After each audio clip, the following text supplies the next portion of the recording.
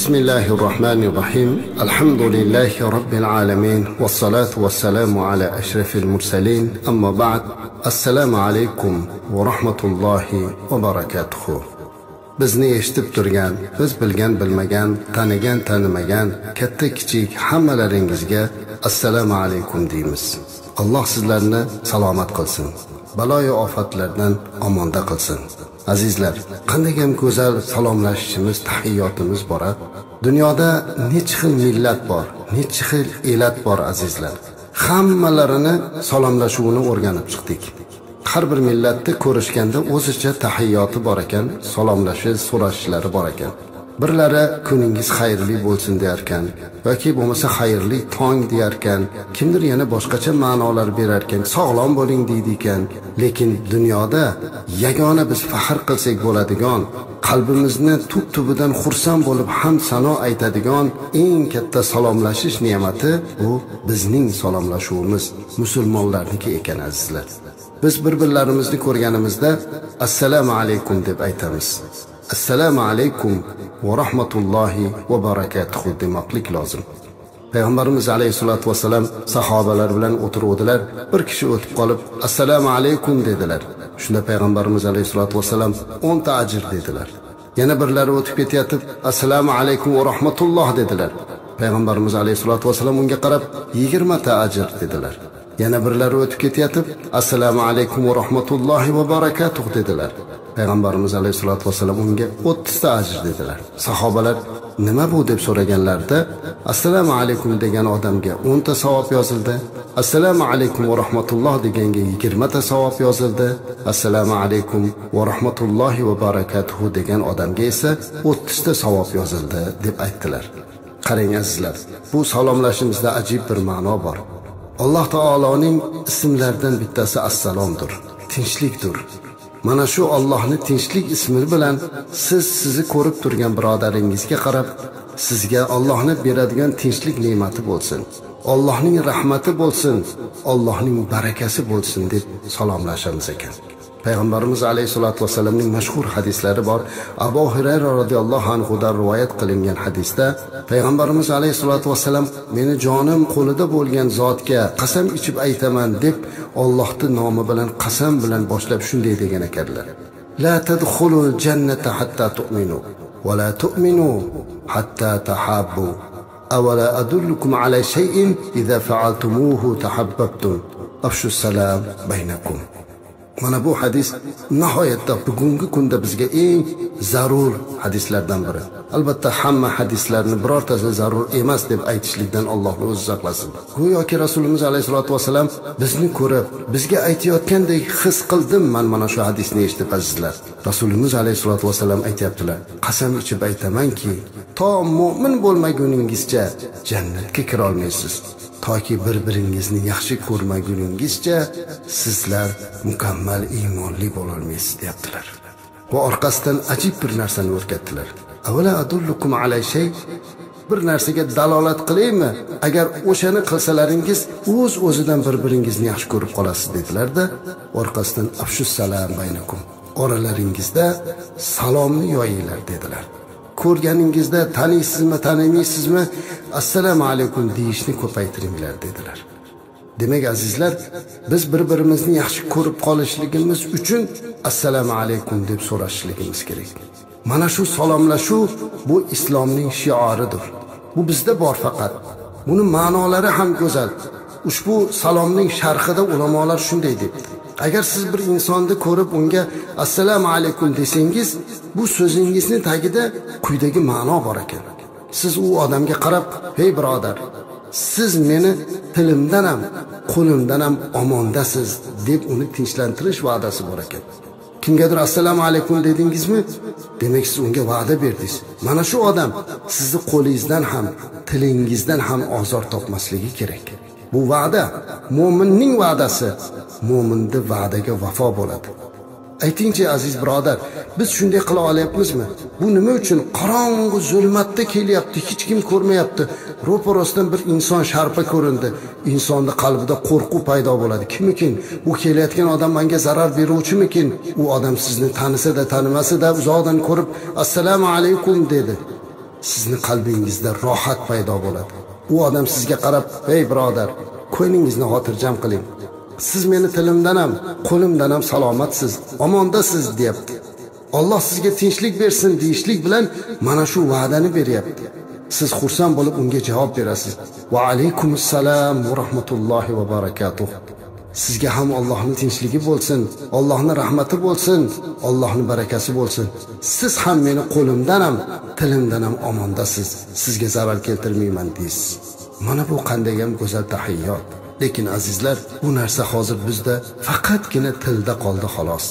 Qalbdan chiqmayapti. Assalomu alaykum deb qo'yishimiz faqat tilda qoldi. Lekin biz aslida yuqoridagi payg'ambarimiz alayhissalotu vassalamni hadislariga e'tibor beradigan bo'lsak qalbimiz titrab ketishi kerak.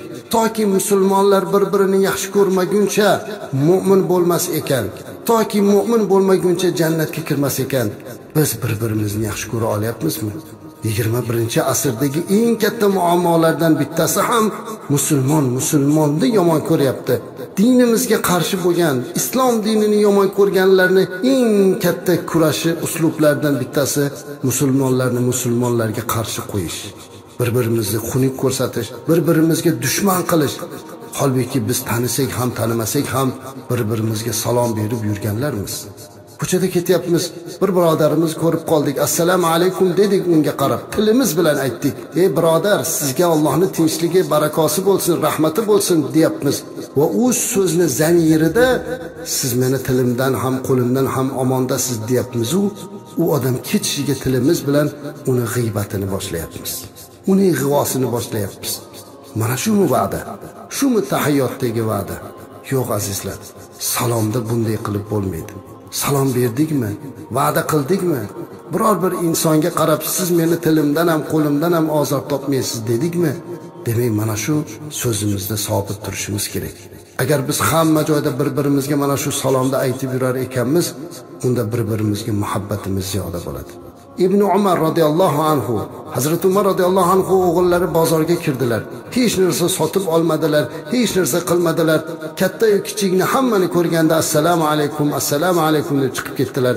Atrofidagilar so'radilarki ya ibn umar roziyallohu anhu siz bozorga kirib hech narsa xarid qilmadingiz lekin kirib chiqdingiz deyodilar man odamlarga salom berdim dedilar. Salom uchun kirdim har bir salomim uchun ajr olaman degan ma'noda salom berdilar. Mana shu salomni bizni ajdodlarimiz hatto sobiq ittifoq davrida din bu afindur degan davrda ham salomni saqlab qolishdi. Endi hozir alhamdulillah diniy erkinlik hurriyat davrida biz bu salomni yo'qotmasligimiz kerak. Bolalarimizga nafaqatgina assalomu alaykumni aytishlikda balki buni mohiyatini o'rgataylik. Agarki azizlar butun dunyodagi musulmonlar assalomu alaykum degan so'zni zamirida sizga tinchlik so'rayman. Siz meni qo'limdan ham tilimdan ham omondasiz degan ma'nosini bilib mana shunga muvofiq agar amalda bo'lganda edi. Birorta eshigimizga qulf tushmagan birorta insonni qalbida xavf bo'lmagan bo'lardi. Demak assalomu alaykum faqat tilda bo'lmasligi kerak ekan. U dilda u qalbda bo'lmoqligi kerak. Esimizdan chiqarmaylikki bu salom hatto jannatda hamdir. Jannat ahallarini ham bir birlariga salomlashishlari mana shunday assalomu alaykum. Hatto butun mo'minlar jannatga kirayotganda ularni jannat darvozasi oldida farishtalar assalomu alaykum deb kutib olarkan. Shunday ekan biz azizlar bir birimizni hurmatu ehtiromimizni muhabbat va sadoqatimizni bir birimizni yaxshi ko'rishligimizni ziyoda qilmoq uchun salomni ko'proq yoyishimiz kerak.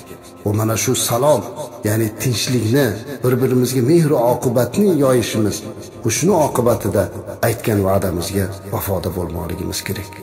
Assalomu alaykum va rahmatullohi va barakatuh. Biz sizlarni yaxshi ko'ramiz yaxshi ko'rishligimiz bilan iymonimiz bismillahi rohmanir rohim muhtaram aziz muxlis va muxlisalarimiz. Siz azizlar bilan ijtimoiy muammolar ijtimoiy odoblar haqida turkum suhbatlarimizni davom ettirib xususan bugun ojizalarimiz zaifa opa singillarimizga bir eslatma ma'nosida ayollarni erlari oldidagi burchlari haqida gaplashmoqchimiz. Man o'ylaymanki bugun e, ushbu suhbatimizni ko'plab e, muxlisa mo'mina bo'lgan opa singillarimiz eshitib bunga o'zlariga kerakli xulosani oladilar. Va shu o'rinda man barcha opa singillarimizdan mo'tabar onalarimizdan uzr so'rab aytmoqchimanki bu aytilayotgan gaplar bu nasihatlar men ichimdan to'qib olgan yoki biror bir joydan o'zim o'zlashtirgan emas balki payg'ambarimiz alayhissalotu vassalamning gaplari bir ming to'rt yuz yoshdan o'tgan shariatimizni gapi deb qabul qilasizlar. Shuning uchun bir oz sizlarga qo'porlikdek ko'rilsa bizni uzrimizni qabul qilib balki bundan o'zinglarga yarasha bir xulosalarni qilasizlar degan umiddaman. Zero biz uchun dunyoda eng qadrli zotlar bu ayollar ekanligini, onalar ekanligini, jufti halollarimiz ekanligini, qiz va opa singillarimiz ekanligini bot-bot sizlarga takrorlab aytdik. Lekin mu'mina, muslimalar o'zlarini burchlarini bilib olishlari lozim bo'ladi.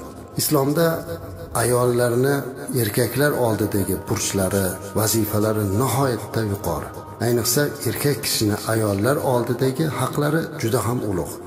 Payg'ambarimiz alayhissalotu vassalamning sahobalaridan birlari bir kuni boshqa bir millat boshqa din vakillari tomonga safarga borganda u yerdagilar o'zlarini rahbarlariga o'zlarini xo'jalariga sajda qilib salomlashar ekanlar haligi sahoba buni ko'rib aytdilarki bular bir majusiy bo'lsayu shuncha hurmat qilar ekan biz ham shunday qilishimiz kerak shunda chiroyli bo'ladi deb o'zlaricha fikr qildilarda payg'ambarimiz sollallohu alayhi vasallamni oldilariga kelib u zotga mana shunaqa qilib salom berdilar. Shunda rasulimiz nima qilyapsan? deyavdilar mana o'sha majusiylarni o'zlarini e, rahbarlariga o'zlarini hukmdorlariga mana shunday salomlab sajda qilganini ko'rdim deyavdilar payg'ambarimiz alayhissalom bundan qattiq qaytardilar. Odamni odamga bunaqa sajda qilishi mumkin emas dedilar. Sajda faqat ollohga bo'ladi deb turib orqasidan aytdilarki o'zi mumkin emas azizlar. Agar mabodo odamni odamga sajda qilishi mumkin bo'lganida men ayollarni eriga sajda qilishga buyurgan bo'lardim dedilar. Qarang qay darajada yuqori erkaklarni martabasi. Albatta alloh subhanahu va taologa itoat qiluvchi mu'mina muslima ayollar Allohga itoat qilishlik bilan birga o'zini jufti halolini turmush o'rtog'ini astoydil rozi qilishlikka harakat qilmoqligi mana shu yo'lda jiddiy jahd qilishligi lozim bo'ladi. Zero er ayolning jannati yoki do'zaxidir. Ya'ni erni rozi qilib jannatga kirib olish imkoniyati bor. Yoki uni norozi qilib Alloh saqlasin do'zaxiylar tomonida bo'lib qolishligi mumkin. Payg'ambarimiz sollallohu alayhi vasallam aytadilarki qaysi ayol vafot etsa-yu eri undan rozi bo'lsa jannatga kiradi dedilar. Termiziy va hokim rivoyat. Yana boshqa bir hadis sharifda payg'ambarimiz sollallohu alayhi vasallam aytadilarki agar ayol besh vaqt namozini o'qisa o'zini nomusini iffatini saqlasa va eriga itoat qilsa jannatni istagan eshigidan kiradi deydilar ibn hibbon rivoyat. Qarang azizlar bu imkoniyat siz onaxonlarimizga opa singillarimizga sizdek oliyjanob bo'lgan mo'mina muslimalargagina nasib qiladi. Albatta bu itoat shariatga muvofiq bo'lishligi lozim. Chunki agar eri gunohga chorlasa gunoh ishlarga buyursa shariatdan chiqib ketadigan topshiriqlarni aytsa bunga itoat qilmaslikka haqqi bor. Lekin boshqa masalalarda albatta eriga itoat qilishligi lozim. Chunki payg'ambarimiz alayhissalotu vassalam mana shu itoat uchun qancha darajada savob bo'lishini aytadilarki eriga itoatkor ayol haqqiga modomiki eri undan rozi bo'lar ekan havodagi qushlar. Suvdagi baliqlar osmondagi farishtalar hamda quyosh va oy istig'for aytadi dedilar.